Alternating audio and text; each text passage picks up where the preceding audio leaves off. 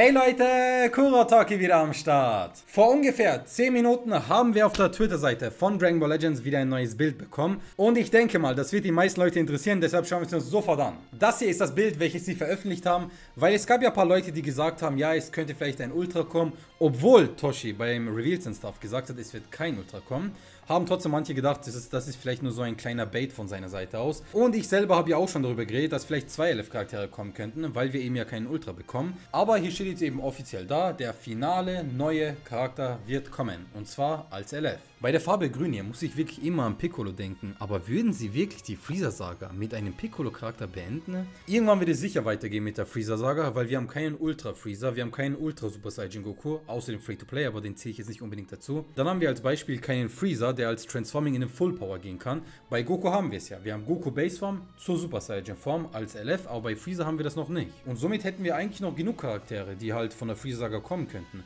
Bin jetzt echt gespannt, wer der letzte Charakter sein wird. Aber ich glaube wirklich, dass es jetzt ein Piccolo werden könnte. Weil die Farbe grün passt ja eigentlich nur zu Piccolo. Wer soll denn sonst kommen? Also mit Piccolo meine ich jetzt eh nicht den einzelnen Charakter. Ich glaube echt, das wird ein Duo-Charakter zwischen Piccolo und Goku sein. Aber ich bin mir nicht sicher, ob das für die jetzige Meta wirklich gut ist. Weil hundertprozentig wird dann Goku Freezer mit Piccolo auch noch zusammengespielt. Und da gibt es dann wieder einige Senkai-Bars. Weil wir haben einen Saiyajin-Charakter und einen Regenerationscharakter. Könnte auf jeden Fall interessant werden. Dann gibt es zu dem Bild hier eigentlich eh nichts mehr zu sagen. Was glaubt ihr, was kommen wird? Ich persönlich glaube wirklich, das ist eine Bestätigung für Piccolo Goku Tech Switch Charakter. Auch wenn es kein Tech Switch Charakter sein wird, habe ich immer noch das Gefühl, das muss ein Piccolo sein. Ich kann mir jetzt gerade, wenn ich mir das so anschaue, eigentlich nichts anderes vorstellen. Wie schaut es bei euch aus? Was glaubt ihr, wer so kommen wird? Das Einzige, was ich mir bei diesem Bild auch noch vorstellen kann, aber ich weiß nicht, ob das ein bisschen zu übertrieben ist, ist einfach nur, falls ihr euch an die Szene erinnern könnt, wo Goku sich zum ersten Mal in den Super Saiyan verwandelt, sieht man im Hintergrund die ganze Zeit erstmal Planet Namek, natürlich in grün, und dann diese Blitze halt und diese Effekte,